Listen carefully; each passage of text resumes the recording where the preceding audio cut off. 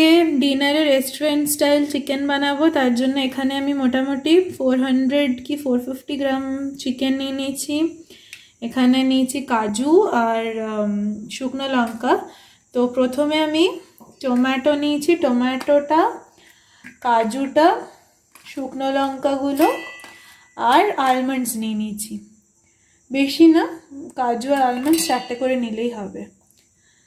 দিয়ে এগুলো আমি একটা পেস্ট করে নেব মিক্সিতে।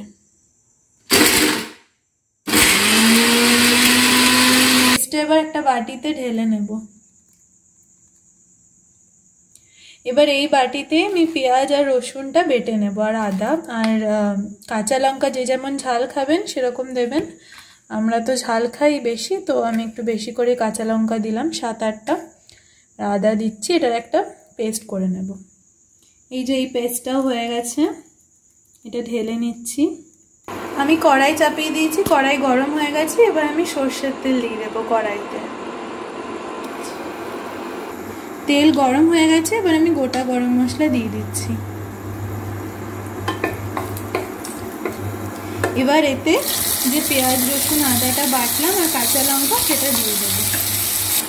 এরপর দেবো এক চামচ জিরের গুঁড়ো। ধনে গুঁড়ো।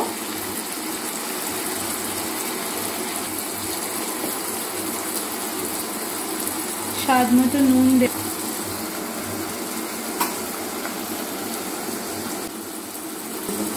এরপর দেব কাশ্মীরি রেড চিলি পাউডার।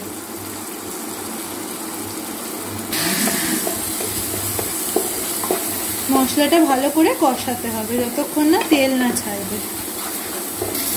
এই যে মশলাটা ভালো করে ফ্রাই হয়ে গেছে, তেল ছাড়ছে, এবার আমি চিকেনের পিসগুলো দিয়ে দেবো।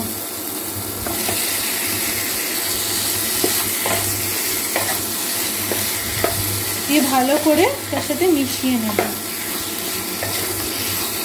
আমি জাস্ট অল্প জল দেবো, যাতে মশলাটা না লাগে।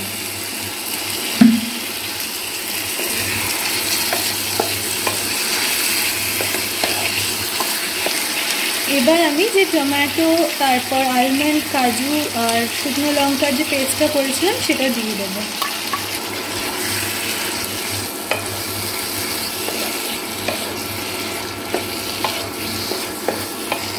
ভালো করে মাংসটা কষে গেছে, এবার এটা সেদ্ধ হওয়ার জন্য আমি পরিমাণ মতন জল দিয়ে দেবো, বেশি নয় কিন্তু, কারণ এটা কিন্তু একদম কারি কারি টাইপের মাখা মাখা হয় গ্রেভি গ্রেভি একটু নাড়িয়ে দিয়ে আমি ঢাকা দিয়ে দেবো। পনেরো মিনিট, দশ মিনিট রাখব। এই যে আমি পনেরো মিনিট পর খুললাম। এই যে একদম রেডি এবার আমি নামিয়ে নেব।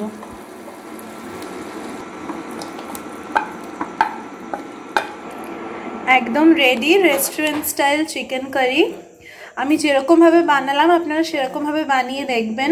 একদম ইজি প্রসেসে খুব কম ইনগ্রিডিয়েন্টসে বানিয়ে বলবেন কেমন লেগেছে। এই যে ডিনার নিয়ে বসে গেছি পরোটা স্যালাড চিকেন চলে আস